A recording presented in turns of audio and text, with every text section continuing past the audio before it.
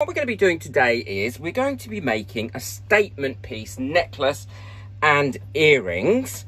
You can get these on Amazon and I will try and link them for you. But actually my friend Dulce from Dulce's Creations YouTube channel, check her out, her link's in the description. She is an amazing artist. Sent me these to see if there's anything I could do with them. And I just thought, yeah, I love making jewellery. So what I'm going to do is I'm going to turn them into a statement piece. I'm just going to seal these now with the same colours that I'm going to be using. These aren't going to be transparent colours I'm going to be putting on here, although that would look beautiful as well. I will be using mica powder and probably a little bit of glitter as well in them, because of course, why wouldn't I? But the reason I'm painting these is I don't want any bubbles. This is, this is raw wood. I don't want any bubbles coming up from this while it's curing, and I find that by painting them with acrylic paint, that prevents that from happening. These have dried now, and they're really dried quite well. I've painted all the edges, and I've painted both sides. So now all I need to do is dome them. And what I'm going to be doing is I'm going to be putting some mica powder in. And I've let this resin get quite thick as well. And I'm also going to be putting in some glitter because I do like glitter. Don't forget, if you like my channel, please hit that subscribe button so you don't miss out on any future videos. And I've got quite a lot of members now and they really are helping me keep this channel going.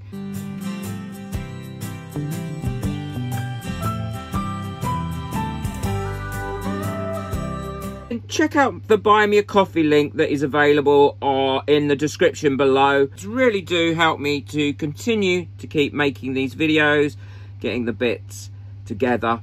When I'm doming, I'm putting a bit in the middle and then I just let it find its own edge. And the reason I do use a pipette rather than I try to pour it is because I do have a bit of a tremor.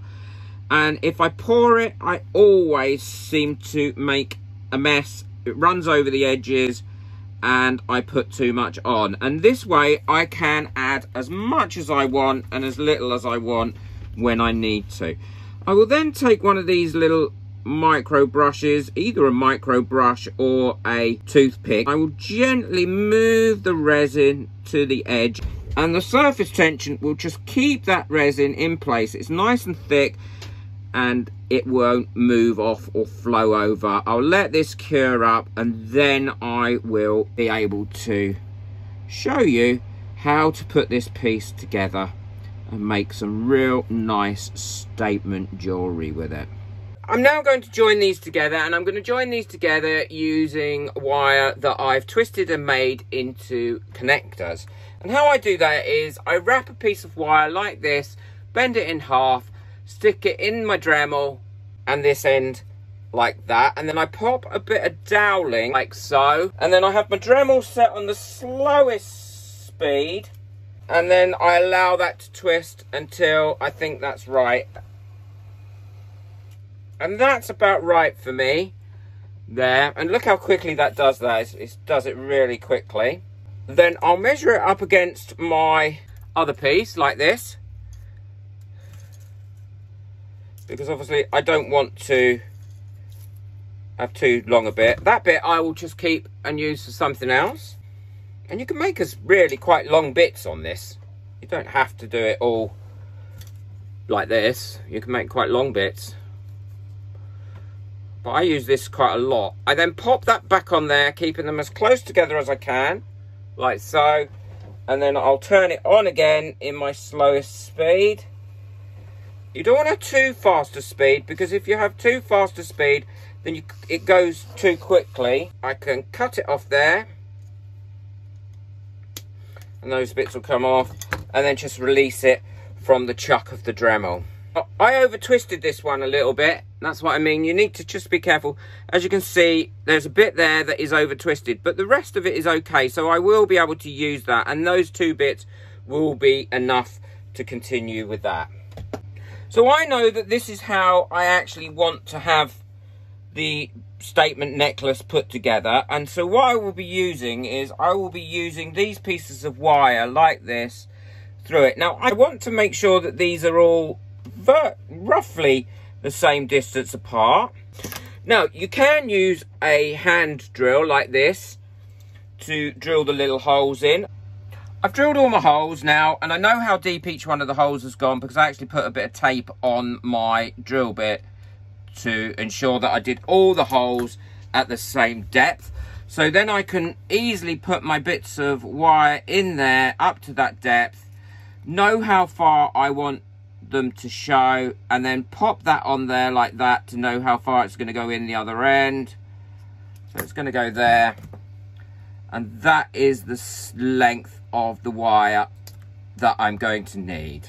So we can just double check that by popping that in there like that and in there like that and I am really pleased with that and then what I will use to glue these in with is some five minute epoxy because I like five minute epoxy so what I'll do is I will get my piece of wire in there like so I will dip it in its end like that and then I will push that into there like that I shall take the second one and do that. I always push it in and then lift it out so I can get a bit more epoxy all the way through it. And if you've got bits around it that you think, actually, what the, I don't want that there, you can just use a little bit of baby wipe to any overspill you can remove. But five minute epoxy does dry completely clear. All I have to do is double dip those ends and pop them into this one. And I'll just do the same again for this one. I won't do anything with that now until I've 100% confident that that is all cured up.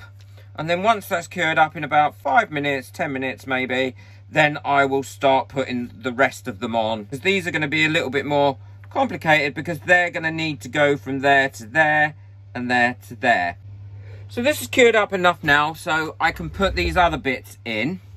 And so I know where to drill the holes and then where to put them afterwards. I've put them out again by eye, roughly where I want them. And then what I'm using is, I'm using a white Posca pen because that will wipe off with just a little bit of water. And I'm just marking on these where I want the holes drilled. And then I all I have to do is line them up when I'm coming to put them together. And then the same across here.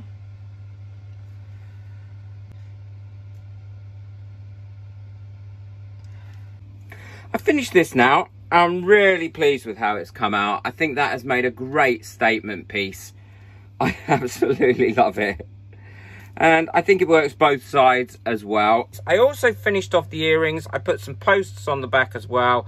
And they will just sit in your ears like so. And these posts are very easy to put in. I just use the five minute epoxy again to put those in. Let me know what you think about it in the comments below. Don't forget to subscribe to my channel if you're already not subscribed so you don't miss out on future videos. And please, check out the video that's coming up next.